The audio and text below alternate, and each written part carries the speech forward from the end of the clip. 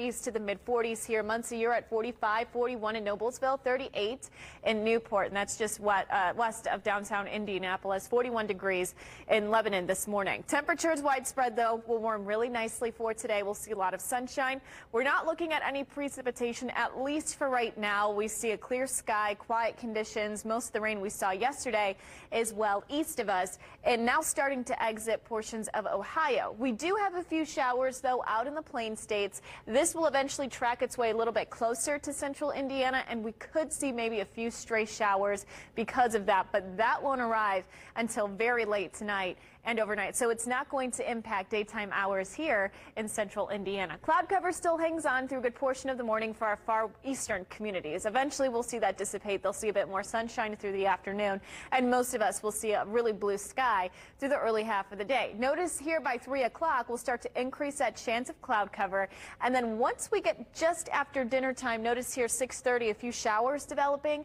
out in eastern Illinois. We'll see if they manage to hold together, but some of those could potentially cross over the state line. So we might see an isolated to spotty light shower very late tonight and overnight, but those will not last all night. In fact, they should be out of here by early tomorrow morning. Today's forecast is called for a mostly sunny sky. Lots of sunshine for today. Temperatures should warm into the upper 50s, if not close to 60 degrees. Later on today, 64 by 5 o'clock. Winds still out of the northwest. Upwards of around 10 miles per hour, but nothing breezy.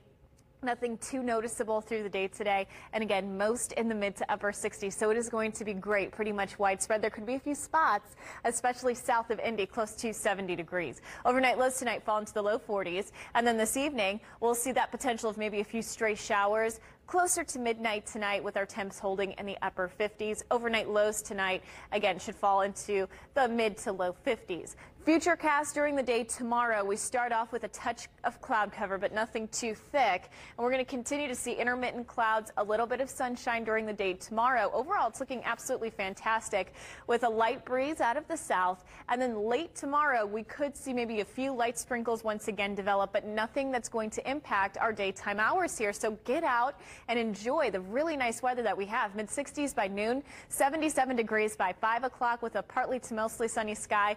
Daytime highs tomorrow should top out in the mid to upper 70s. There could be a few spots just south of I-70 in the low 80s. So it's looking great, pretty much widespread. And then by Sunday, that's when we're factoring in our next chance of a few showers, maybe a rumble of thunder. That should exit during the afternoon, and then we'll see a decrease in cloud cover leading into a pretty great start next week. Weekend planner, 77 Saturday, Sunday, 73 degrees. Forecasted highs and next week will begin to slide a little bit, so it is looking a little bit cooler, but over the next couple of days, take advantage of the nice weather while we have that have it with a lot of sunshine today and tomorrow. Chapman Heating and Cooling eight-day forecast does show a bit of an unsettled work week next week.